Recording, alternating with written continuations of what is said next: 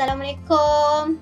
Assalamualaikum warahmatullahi wabarakatuh guys. We meet again uh, for today classes. Uh, today classes is actually your lab class but for the week week two, uh, we uh, will not teach you lab.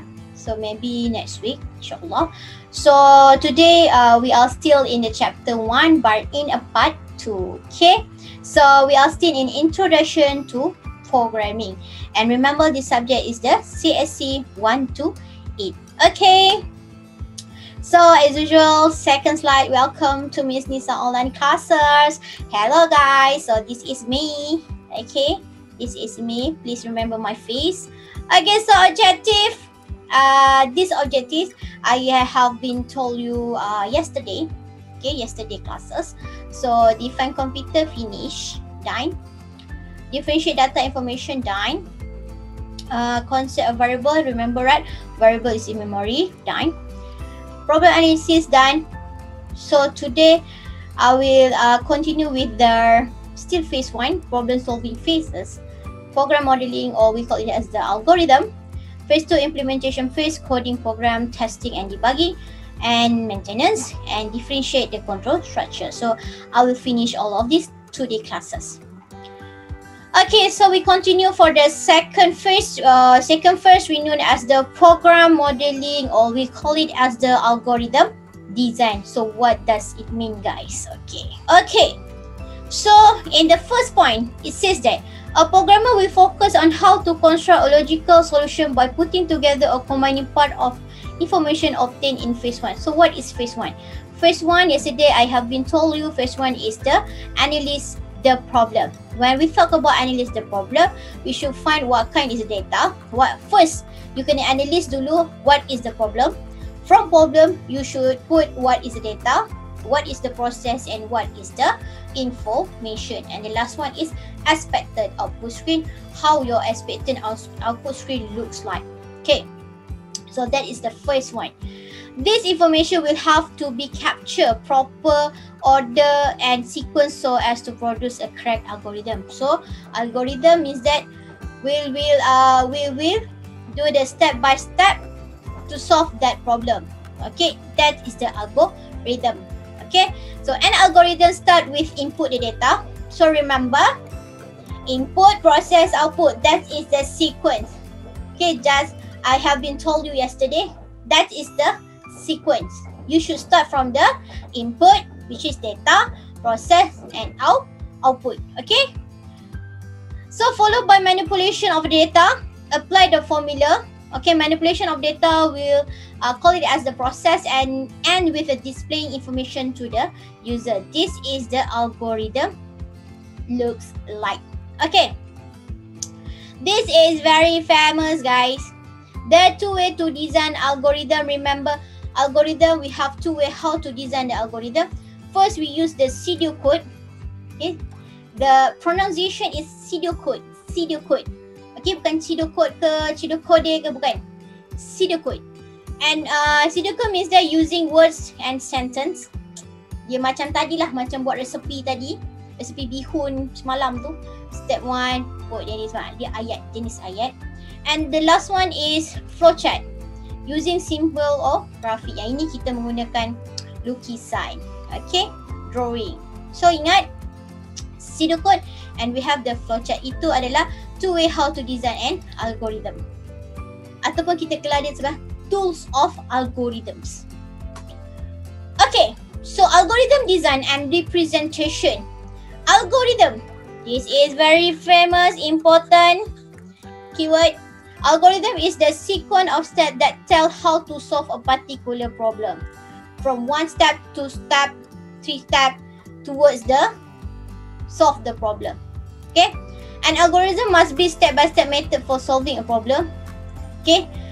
Problem suruh awak kira area of rectangle. Tapi algorithm pergi buat you buat selesaikan masalah uh, circle. Betul ke salah? Salah. So ha, berhati-hatilah. Sebab kita dah ada problem analysis so follow je problem analysis tu tadi. Okay?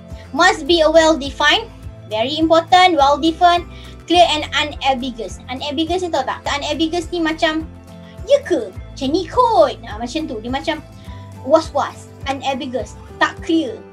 Ha, itu tak boleh. Bila dalam coding ni, dalam coding ke matematik ke kan, you kan favorite matematik, you kena precise, clear.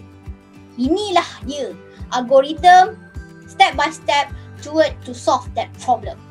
You kena confident, okay? And well ordered sequence of instructions so that there can be no doubt about what to do next.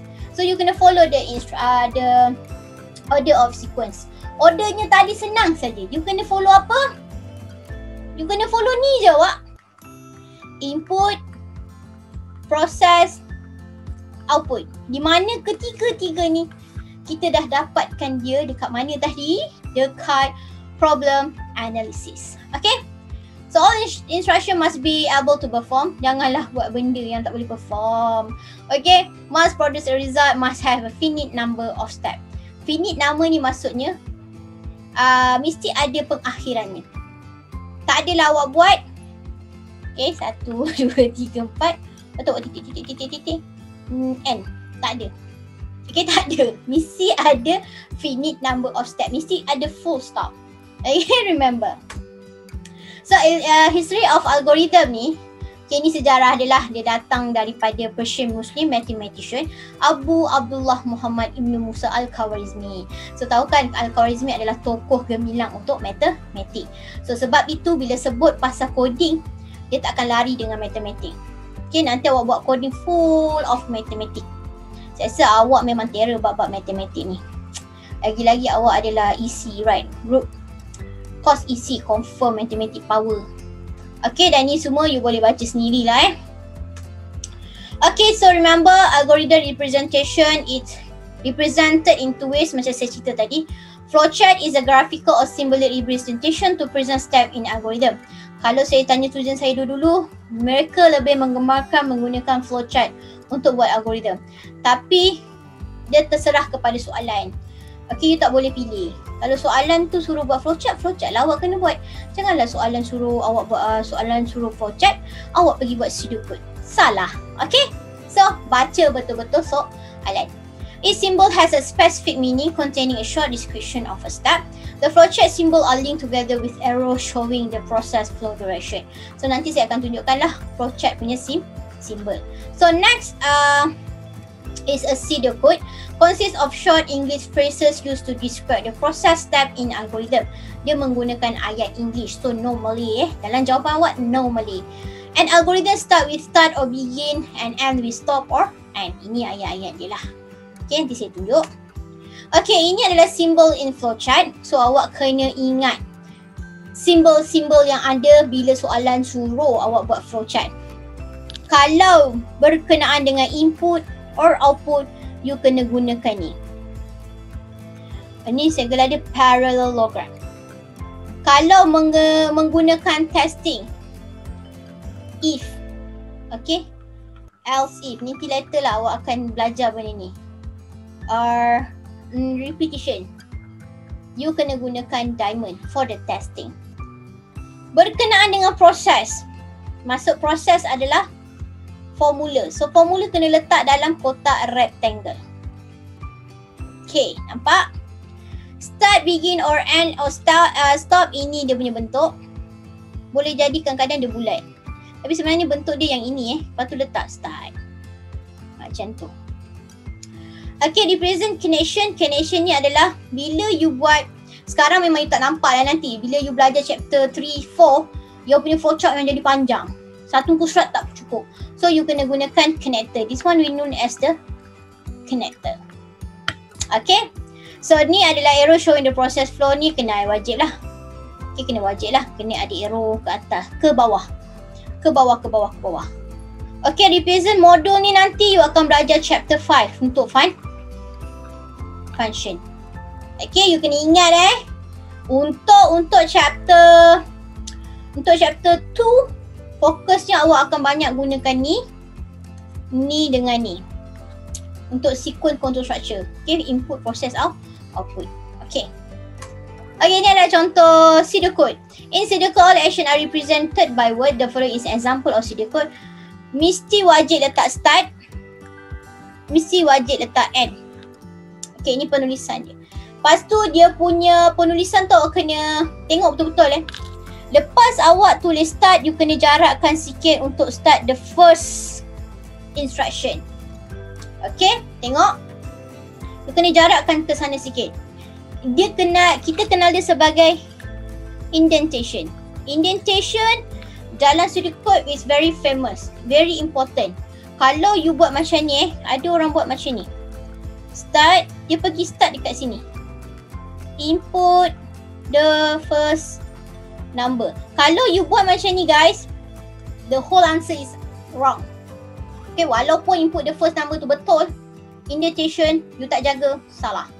So remember betul-betul, sudut code ni leceh sikit. Sudut code ni, start, jaraklah sikit macam ni, ha, jarakkan sikit, you start kat sini.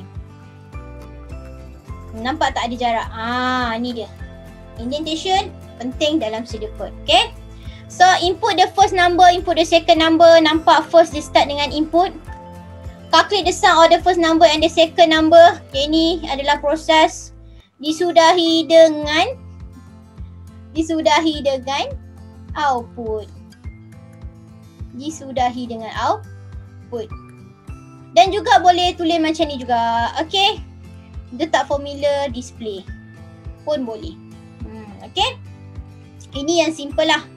Sebenarnya awak kena tulis yang detail. Sekejap lagi saya tunjukkan. Okay ni contoh dia. Eh. Ini contoh dia. Ini adalah pseudo code. Okay. Ini patutnya dia ada start and and jangan lupakan saya tertinggal. Okay. So ini dia. Nampak? Ini dia punya shape for the start. Letak dia arrow, arrow, letak arrow. Sum sama dengan kosong, average ini kita letak dia sebagai proses. Okay, rectangle. Read ABC. Okay, read ABC kita letakkan dia sebagai parallelogram. Lepas tu proses rectangle, output parallelogram and ingat eh flow dia input input proses output. Ni flow dia. Untuk code dengan flowchart. Okay, ni yang simple punya lah. So kita sambung balik yang uh, semalam punya contoh. Semalam kita ada buat calculate the area of rectangle kan. Kita dah result of problem definition kita dah keluarkan semalam di mana kita dah tahu length and width. Bila kita sebut data or input, data or input kita kena ask the user to enter. The famous keyword, uh, the famous word that we will use inside our coding is please enter what? Please enter length, please enter width. And then we do the process and then we uh, display the information area. So ini expected uh, output screen yang kita dah buat semalam. Okay, boleh tengok. Yang ni saya tak gemar sangat eh. Ni tolong jangan buat. Awak kena gunakan macam ni. Minta satu persatu. More proper. Okay, ini adalah detail uh, video code yang awak kena buat berdasarkan uh, kenapa kita buat expected output screen. Daripada expected output screen tu lah kita dapat kita punya video code. Nampak? Nampak ni? Enter a length, enter a width, the area of rectangle. So kat sini kita dah tahu pseudo code kita apa. Okay, start. Okay, mesti start. Mesti ada word start. Lepas tu jarakkan sikit indentation dia. Display. Letak display. Display ni maksudnya kita nak keluarkan enter a length dekat screen. Ni ah. Ni dekat screen kan enter a line ni. Kita nak keluarkan enter a line ni kat screen. So kita letak display. Display enter a line. Boleh jadi prompt. P-R-O-M-P. Prompt. Board boleh. Enter a line. So mesti ada double apostrophe. Ha, gitu. Ataupun saya panggil dia sesungut word. Okay and then read line. Okay read line ni apa dia? Yang kotak ni. Ah, nampak tak? Kan senang bila you dah ada expected output screen. Red line tu yang kotak tu. Ataupun kalau you tengok nanti dalam coding, cursor. Ah, itu maksud dia. Maksudnya dia akan minta nilai tu. Minta nilai tu. Daripada user. Dia tunggu user masukkan. Okay, yang kedua kalau kita tengok expected output screen, kita jumpa apa? Enter a width. Ada kotak, right? So, kita buat display, enter a width, a read width. Nampak? Read with boleh, input with pun boleh. Ni dia punya ayat-ayat dia. Okay, ni ayat-ayat dia. Okay. Next. Ada lagi tak input? Kalau dua je input, dua lah benda tu. Ha, dia kena macam tu. Habiskan dulu input. Kalau ada 10 input, 10 lah. Enter, enter, enter, enter. Okay, kalau sekarang ada dua, dua lah. Okay, lepas dah ni, you terus masuk dalam otak awak. Okay, kat sini memanglah dia tunjuk information. Sebelum information ada apa guys? Dekat dalam sedia kod you kena tulis. Iaitu you kena ada pro process. So calculate the area of rectangle. Area equal length darab width. Ni proses dia. So nextnya kita nak keluarkan apa kat user? This one. The area of rectangle ada kotak ni kan nak keluarkan ni kan. Tapi untuk information lain macam sikit. Di mana awak kena tulis macam ni. Display Okay, sesungut dua. Area of a rectangle. Sesungut dua ni hanya untuk words yang awak nak keluarkan dekat screen. Ini kegunaan sesungut dua. Okay. Lepas tu, comma, area. Hmm, maksudnya you nak keluarkan apa dekat user? Area. So, dalam kotak tu, area ni mana nak dapat? Ni, ambil balik nama yang depan ni. Masukkan dekat dalam ini. Comma, area. Okay. So lepas tu ada lagi tak nak display tak ada terus end. Nampak? Okay. So kalau convertkan ini kepada flowchart. So easy guys. Benda yang sama je. Start. Turun bawah. Okay ada orang cakap Miss kalau saya nak asing-asingkan enter a length read lang tu satu shape boleh tak? Maksudnya buat satu boleh. Kalau you nak buat sekali pun tak ada masalah. So kita gunakan parallelogram. Okay macam ni. Follow je. Lepas tu turun bawah lagi kita jumpa proses. Proses letak dalam ko kotak. Lepas turun bawah lagi kita jumpa display area of rectangle area output. So and dah habis. Inilah dia detail shader code dan detail flow chart. Ini yang awak kena hasilkan dekat dalam jawapan awak nanti. Okay guys, example yang ketiga. Yang ini tak ada jawapan. So jom kita buat bersama-sama. Okay, kita baca satu persatu. Bila dapat soalan, you kena tenang. You baca. Okay. Jangan gopoh. Baca satu-satu. Soalan tu cakap. Calculate the salary of an employee. Oh, soalan suruh kira salary of an employee. Dia cakap, the data are hours work and hour and hourly rate. Okay, the salary will be calculated as hour work multiplied by hourly rate. Oh, dia dah bagi dah sangat-sangat senang. So first apa yang kita kena buat? Kita kena buat analyze dahulu. So problem dia apa? Calculate keluarkan dahulu. Calculate the salary of an employee. Maksudnya dia suruh kira gaji ni. Kan? So buat dahulu dia punya first data Lepas tu kita ada proses. Lepas tu kita ada information. Okay, so sekarang kita kita masukkanlah dekat dalam table kita. Kita masukkan dalam table kita. Kita baca. Kat sini dia kata the data are hours work and hourly rate. So maksudnya kat sini kita boleh buat data dia ada dua. Hours work and hourly rate. So ada dua. Lepas tu dia dah bagi awak formula. Macam mana awak nak tahu dia cakap ni formula? The salary will be calculated as hours work multiplied by hourly rate. Dia dah cakap dah multiply. So apa yang awak perlu buat? So salary ah dalam coding dia macam ni eh. Apa yang awak nak cari dia tak depan. Okay sekarang dia nak cari apa tadi? Salary. So letak salary kat depan. Lepas tu awak buat dia kata hours Allah hours work okay times hours hourly rate. Macam ni. So apa information dia guys? Apa information dia? Information dia apa? Macam nak tahu? Tengok apa yang berada kat depan. Salary. Ha letaklah salary kat bawah ni ha. Dah siap kan senang bila kita dah outlinekan semua masalah kita. Semua benda yang kita nak. Okay, lepas dah ada ni kita buatlah expected output screen. senang kita nak reka kita punya apa nama CD code dengan flowchart tu. Okay, expected output screen. Easy right? Okay, so untuk expected output screen kita kena fokus dekat mana saya cakap data dan juga information. So buatlah ayat. Enter.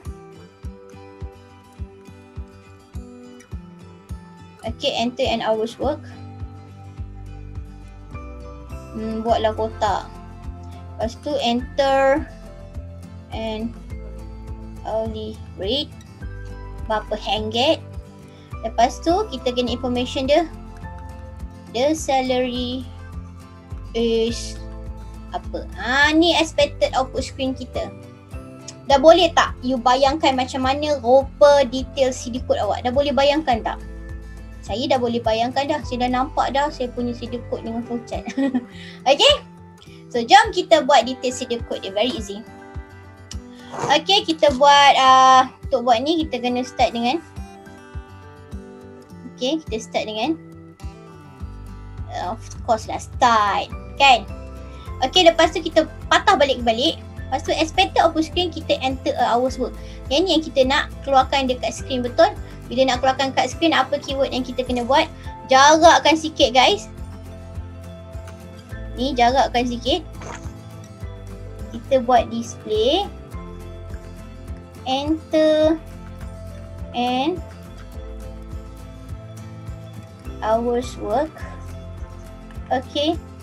Tutup eh. Tutup. Lepas tu kita read apa tadi Read Hours Work rapatkan eh rapatkan. Sila rapatkan. kenapa rapatkan? Minggu depan saya ajar kenapa kita kena rapatkan words ni. Okay, display. Enter. And. Read. Read. Okay, abaikan tulisan saya yang cantik tu. Okay, read. Ah, ni saya buat ni. Saya rapatkan. Okay. So kita dah siap kita punya input Lepas tu kita kena buat apa? Kita kena buat proses So proses je saya buat direct je macam ni Salary equals hmm. Kalau saya rapat saya kena buat sama eh Tulisan kena sama Kalau H O U R S W ni besar word ni ha, Buat macam ni So darab Darab kena guna star Hourly rate Okay Dah siap proses saya. Yang ketiga kita kena ada apa? Output. So output dia apa guys? Kita letak display the salary is Jangan lupakan koma. Apa yang awak kena letak? This one ke sini. Nampak tak? Senang je. Okay. Lepas tu tengok sama and dah siap dah detail video code saya. Okay, boleh? So sekarang saya nak awak So sekarang saya nak awak siapkan flowchart ni. Buat eh? Buat flowchart ni. Send at telegram after you watch this video. Okay, sila buat flowchart berdasarkan CD code yang ini. Okay, saya nak tengok boleh ke tidak. Okay, buat send at telegram after you watch this video. Okay. So next is the phase 3. Phase 3 is the implementation phase. So kita dah ada kita punya apa kata? Kita dah ada kita punya perfect problem analyze, analysis. Lepas tu kita dah ada modeling kan dia menggunakan tak kisahlah gunakan pseudo code of flowchart. So now adalah turn untuk awak buat coding. Okay, coding program implementation phases. The purpose of this phase is to convert an algorithm to a computer program. Okay, there are many programming language, basic, COBOL, Pascal, Fortran. So apa yang awak belajar adalah C++ di mana masa first class uh, semalam saya dah tunjukkan software yang you kena gunakan iaitu Dev C++. Okay, each language has its own and syntax, syntax and rules. Adalah dia punya rules dia. Nanti kita akan belajar. Ni baru pengenalan sahaja. So inilah contoh guys yang awak kena hasilkan. Seram ke tidak? Seram kan? Tak apa. Saya akan jawab one by one. InsyaAllah you can perform it. Don't worry. Okay, I will teach you. Okay, inilah contoh ni. Ini syntax dia. See out, see in, float, integer. Ah, dia ada benda ni pula. Semicolon, semicolon, semicolon. Process, display, see out. Ni output dia.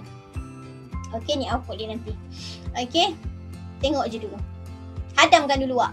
Hadamkan dulu. Hmm, ini ya. Ini yang saya kena belajar Sam ni. You akan hadap sintaks, semua sintaks ni sepanjang 14 minggu. Seronok bila you dapat hasilkan you nampak output screen tu you rasa macam satu kebanggaan bagi you. Sebab ini bukan bidang awak betul tak? Tapi you boleh hasilkan. Wow. Sebab saya pernah ajar budak isi dua yang lepas Alhamdulillah perform. Boleh buat. Sebab kenapa eh saya percaya dengan uh, student isi sebabnya your punya math is perform. Perform okay maths awak perform insyaAllah coding awak perform logik awak memang TikTok budak isi okay So bila kita dah settle buat coding, okay, kita akan testing and debugging. Okay, testing and debug. Debug ni maksudnya kita nak test uh, test ada error ke tak ada. Okay, is the time to check error either syntax or logic error. How to test the program? Running the program with a set of data. Debugging is the process during tracking and fixing the error. Okay, itu maksud dia testing and debugging. So ini very famous guys selalu keluar dalam final. Okay, final dan juga test. Okay, you kena kenal syntax error tu apa, logic error tu apa. Syntax error is occur when not apply the rule of the language. Maksudnya, you tak betul apply the rule of language. Contohnya, kalau macam tadi you nampak ada C in kan. C in sepatutnya huruf besar, you pergi buat huruf eh C in sepatutnya huruf kecil. Okay, ni bentuk dia tapi you pergi buat huruf besar. So ini dikenali sebagai syntax error. Error in rule of language. Can be traced by the compiler during compilation also called compile time error. Compiler boleh detect syntax error. Apa pula logic error? Nama pun logic guys. Error in logic of processing. Maksudnya error of logic processing maksudnya awak nak kira error of rectangle. Jawapan yang dia bagi adalah area of circle. So mana salahnya? Selalunya uh, logic error ni salah dekat formula. Dia run tau.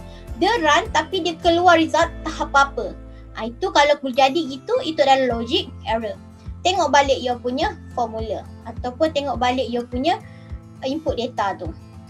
And remember logic error cannot be traced by the compiler. Compiler cannot be traced by compiler. Remember logic error tak boleh uh, trace by compiler. Compiler hanya syntax error saja. Siapa nak trace? Kita lah. Macam ni kita nak tahu. After you run, keluar result, result tak mengarut-ngarut. Uh, itu you kena trace sendiri.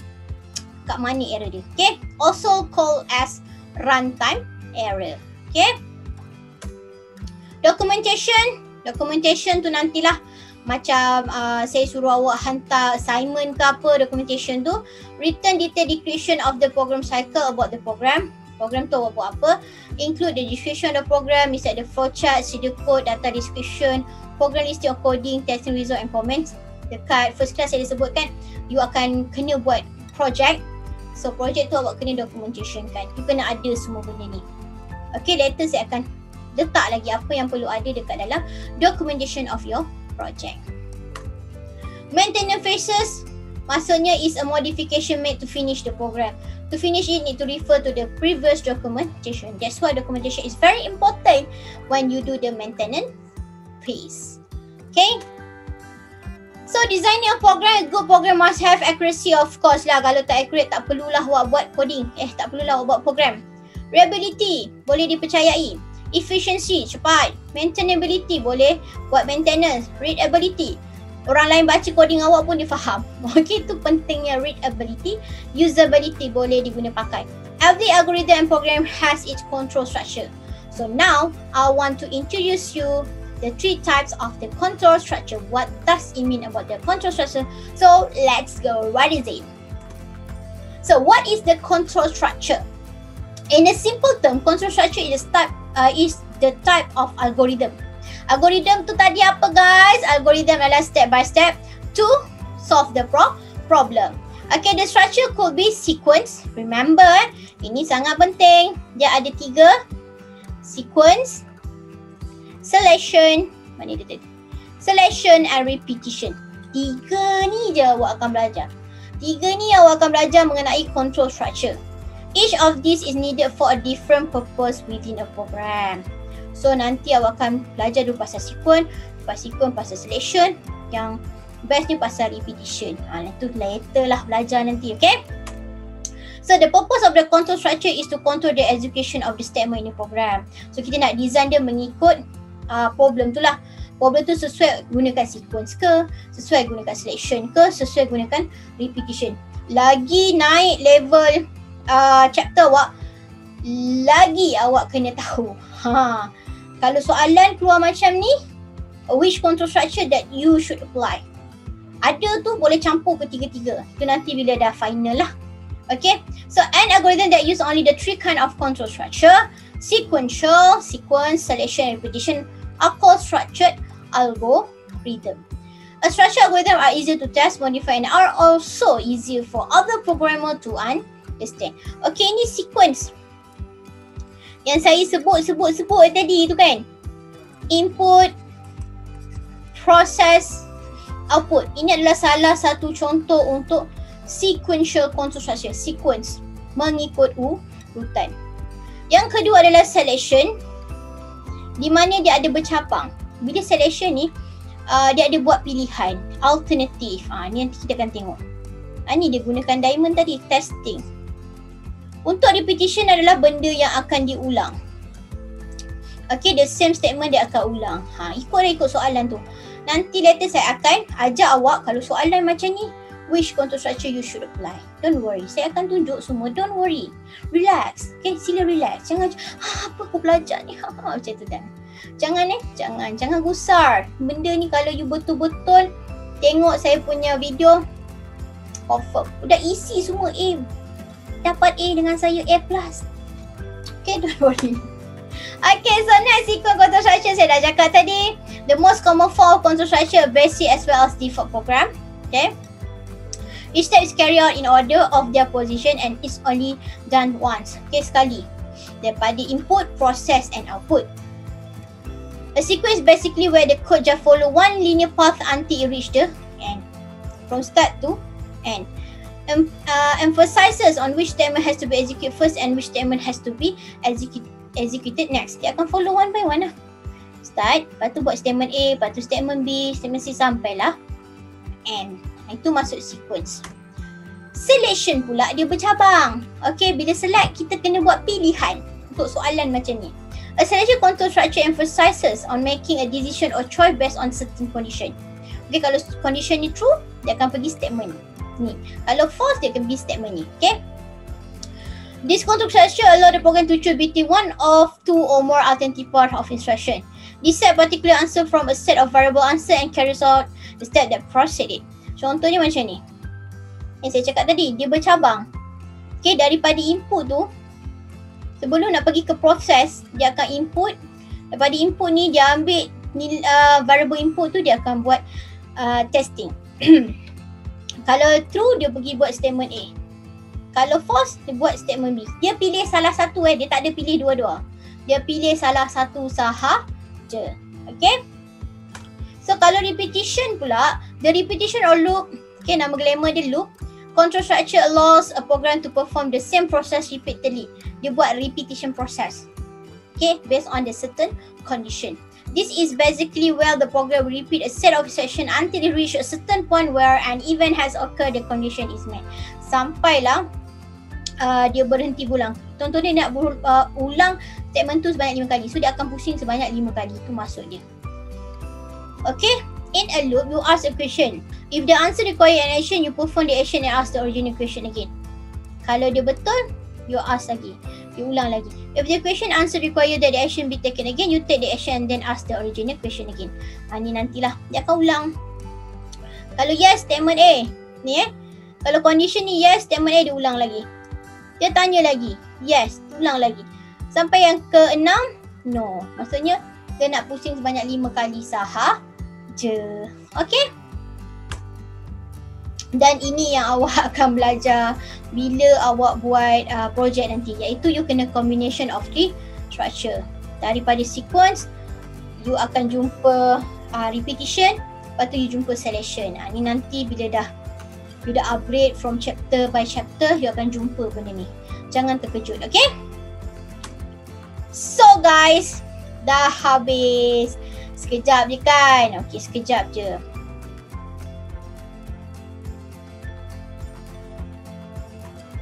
So dah habis chapter 1. So sebelum saya meneruskan chapter 2 minggu hadapan, so please please please make a revision first. Sebab contohnya macam variable semua tu kan.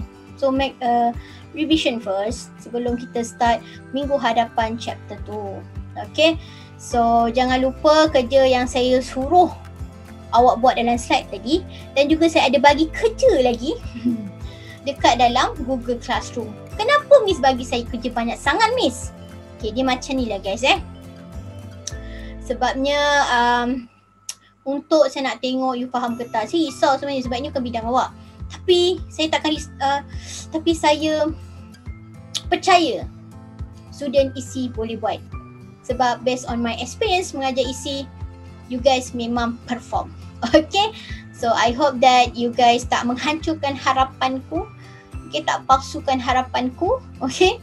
So uh, if you have any question regarding uh, this chapter part 2 you can ask me in telegram. And so that's all don't forget to do all my works. Okay? Yang mana kena hantar telegram yang mana kena hantar um, apa nama Google Classroom. Uh, so tengok betul-betul eh. So uh, that's all for today. So we meet again next week in chapter 2 part 1 okay. So that's all guys. Thank you. Assalamualaikum. Bye